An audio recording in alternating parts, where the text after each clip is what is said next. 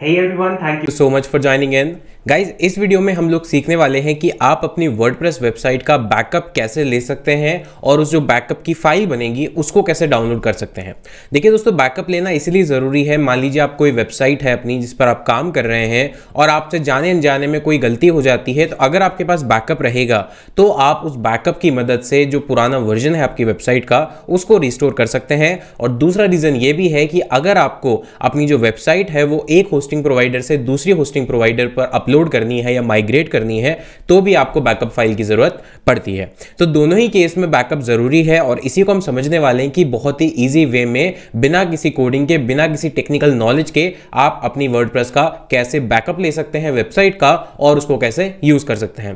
दोस्तों, वीडियो शुरू करने से पहले अगर आप मेरे चैनल पर पहली बार आए हैं तो सब्सक्राइब कर लीजिए बिकॉज़ इसी तरह की वर्ड और डिजिटल मार्केटिंग से रिलेटेड वीडियोज़ आपको हमारे चैनल पर मिलती रहती है।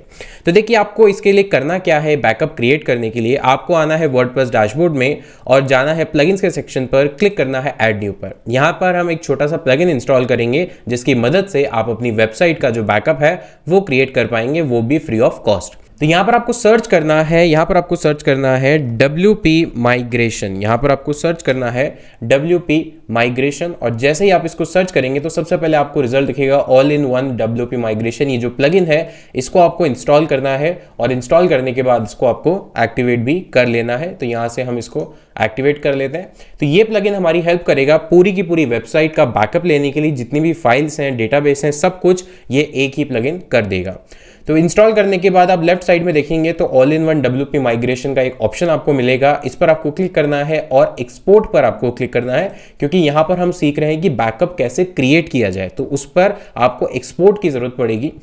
यहाँ पर आपको एक्सपोर्ट टू पर क्लिक करना है और फ़ाइल वाला जो ऑप्शन है, उसको सेलेक्ट करना है। जैसे ही आप करेंगे तो इस तरह का एक पॉपअप आपके सामने आएगा, जहाँ पर आपकी जितनी भी फाइल्स हैं डेटाबेस हैं इमेजेस हैं, जो भी आपकी फाइल्स हैं, आपकी वेबसाइट में, उन सब का जो एक बैकअप है, वो क्रिएट हो रहा है। यहाँ पर आप देख सकते हैं फिफ्टी फाइव कंप्लीट हो गया है। तो टोटल आपके पास जो भी फाइल्स हैं, उसका बैकअप क्रिएट हो जाएगा और वो बैकअप बन के कुछ इस तरह से आपके पास एक फ़ाइल आ जाएगी। अभी मेरी वेबसाइट की जो टोटल बैकअप की फ़ाइल का साइज़ बना है, वो बना है एक सौ का। तो मुझे सिंपली क्या करना है, मुझे इसको डाउनलोड कर देना है, इस पर क्लिक करना है और जैसे ही मैं क्लिक करूँगा तो लेफ़्ट साइड में आप देखेंगे कि यहाँ पर डाउनलोडिंग जो है वो शुरू हो गई है।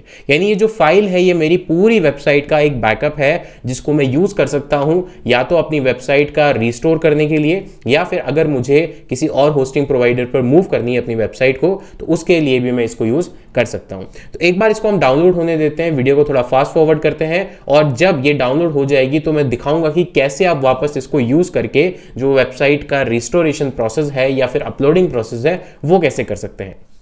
तो गाइज़ यहाँ पर फाइनली जो हमारी फ़ाइल है, वो डाउनलोड हो गई है कुछ इस तरह से।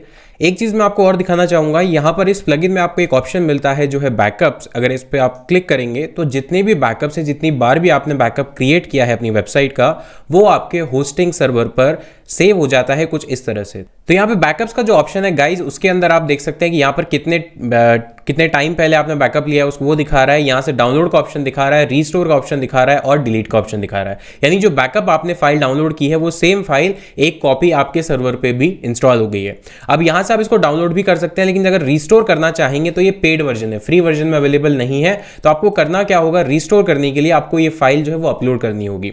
तो ये चीज़ मैं आपको करके दिखा देता हूँ। तो फॉर एग्ज़ाम्पल मैं एक यहाँ से पेज जो है वेबसाइट का, उसको डिलीट कर देता हूँ। पूरी कंप्लीटली पूरी तरह से डिलीट कर देता हूँ और फिर उसको वापस रिस्टोर करने के लिए हमारा जो बैकअप है, उसको हम रिस्टोर करेंगे। तो यहाँ से दोनों अबाउट के जो पेज हैं, इसको मैं ट्रैश में मूव कर देता हूँ।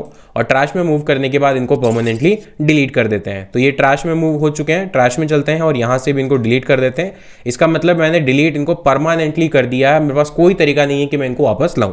तो इस केस में अब जो मेरा बैकअप है, उसको मैं रिस्टोर करूँगा और आपको दिखाऊँगा कि ये जो दोनों अबाउट अस के पेजेस हैं, वो वापस आ गए। तो जो दोनों अबाउट अस पेज हमने डिलीट किए हैं, उनको रिस्टोर करने के लिए हम करेंगे क्या? हम वापस आएँगे प्लग पर और इस बार क्लिक करेंगे इंपोर्ट पर। ये जो बैकअप की फ़ाइल हमने डाउनलोड की है, इसको वापस अपलोड कर देंगे तो जो दोनों जो अबाउट अस के पेज हैं, वो हमारे पास वापस आ जाएँगे।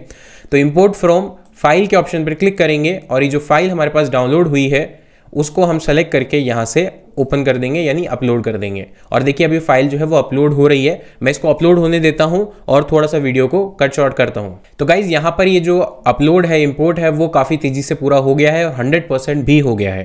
हंड्रेड होने के बाद एक ऑप्शन आपके सामने आएगा, जिसके अंदर आपको प्रोसीड पर क्लिक करना रहेगा।